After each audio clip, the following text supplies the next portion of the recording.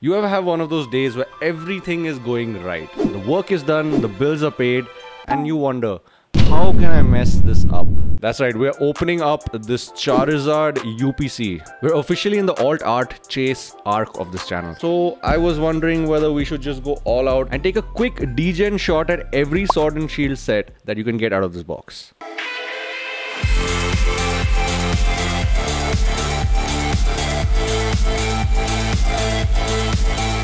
And there we have it folks, the Charizard UPC in 2024. Super degen vibes right now in the Shaant Arena. We have some awesome promos that come in this box. You know, and a couple of stabs at uh, a lot of the Sword and Shield sets which are popping off right now and just flying to the moon in terms of price. But before this, I also want to show you. So I have been grabbing a few alt arts here and there and uh, they're just a couple of cheap ones, you know, to start off the collection. Nothing major, nothing big. That's where we are. So I'm, I'm really hoping we can pull some alt art, one alt art, any, any value, it doesn't matter. That being said, let's get right into this. I actually want to keep this box, so I'm trying not to damage it while opening.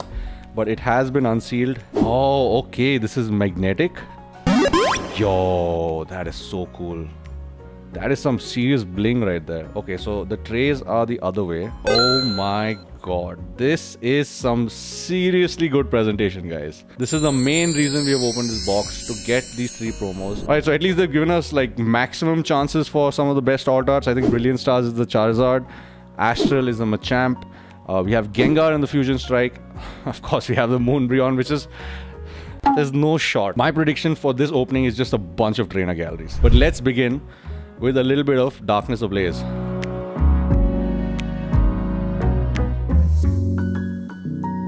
There you go, code card for you guys from Darkness Ablaze. Nothing from Darkness Ablaze as expected, as usual. Vivid Voltage is, I think, the Pikachu, right? Again, I don't know. I just want to pull something interesting, something fun. And of course, Galarian Stunfisk always reminds me of Pokemon Go. I think I might want to do like one shot at everything and then we have two packs each left, right? So let's go from left to right. Let's go Brilliant first. I think this is the uh, the promo is after the battle and the alt art is the battle between the Charizard and the Venusaur.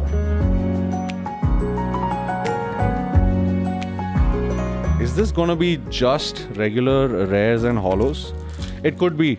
Uh, knowing my luck with Sword and Shield, it could just be regular rares and holos all the way. Magnezone holo. So there we see our first holo is a Magnezone.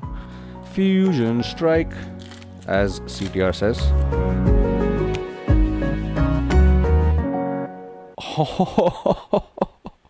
Wow, Fusion Strike hits with a Rainbow Rare, Energy Bug Catcher, Centiskorch, Gliscor, and a code card for you guys. I don't know what the hit rates are from this box. I have no clue. I just know that my luck with uh, Sword and Shield has just always been absolutely poor. Let's get into Evolving Skies. So there you go. We have exactly two packs of each. So let's go into the two packs of Astral first and foremost because I'm not really chasing their Machamp, Alt Art, or the Starmie, uh, Misty and Starmie. Uh, I don't like the artwork that much. I don't see like what the real hype is. Um, I guess it's just the pull rate, and maybe I missed the hype during the time you know the set was relevant. So I'm not really that much of an Astral fan. I just do like it because there's a Mightyena trainer gallery, and of course I love Mightyena because of Fiona. Regular, rare on this pack. Second pack of Astral Radiance.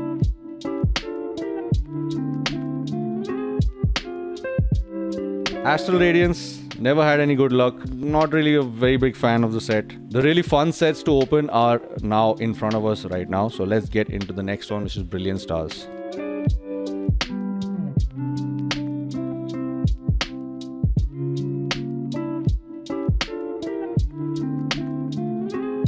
I just enjoy Lost Origin. I'm enjoying the Giratina chase.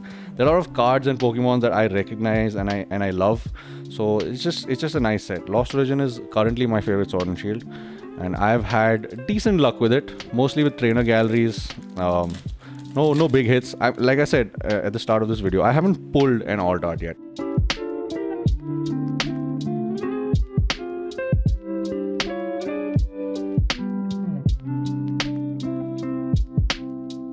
Let's get into Lost Origin. The Tina chase is still on. From the looks of it, it doesn't seem like we're going to be pulling anything from these uh, packs.